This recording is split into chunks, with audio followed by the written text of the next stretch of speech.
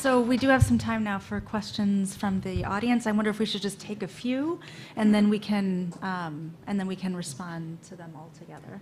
So, oh, okay.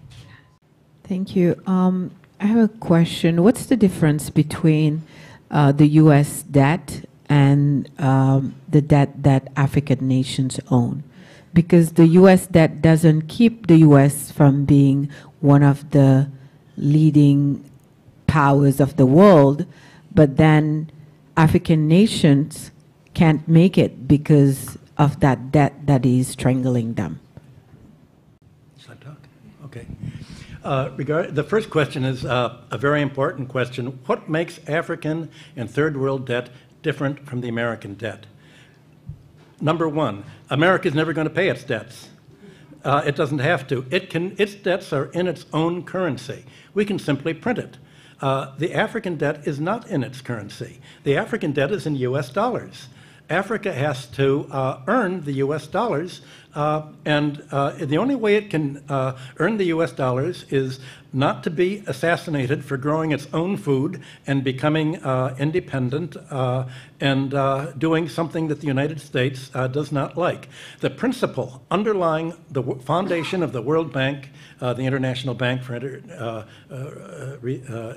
IBRD, uh, research, uh, the, the, World Bank, is that no country should grow its own food. Africa and the third world should only grow export crops.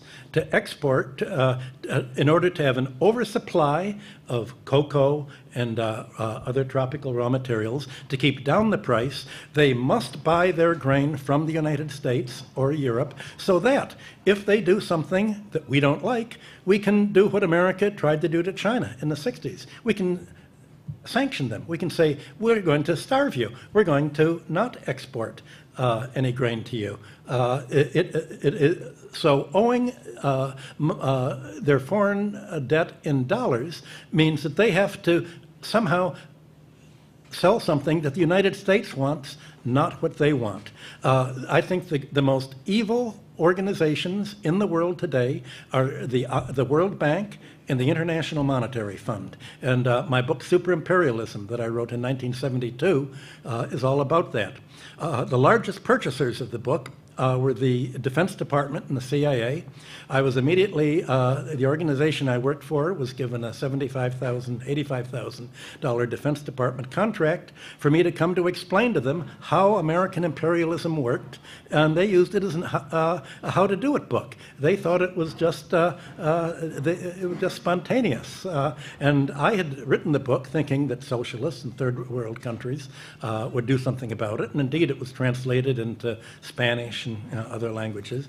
But it was really uh, the Defense Department that uh, applied most of this. And I was amazed when I was invited to the White House to explain how imperialism worked. and my boss said, We've run rings around the British imperialists. This is how to do it. Uh, you make them owe the debts in your currency, not their own. You, uh, you control their central bank uh, and make them financially dependent on you, and then you've, you've got a stranglehold for them. So uh, certainly the third world countries should uh, cancel the debts uh, under the odious debt principle. Uh, I haven't been able to convince any of them to do it because they said if we do that, the CIA will kill us. So how do you break that cycle? Uh, that's, a, that's a problem I've not been able to solve.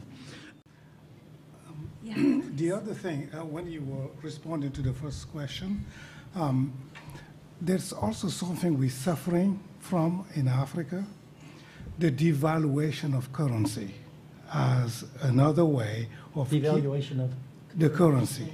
Oh, currency, yes. yes. As a way of keeping us dependent continuously. Uh, that's a good point. When a country devalues a currency, what are they devaluing?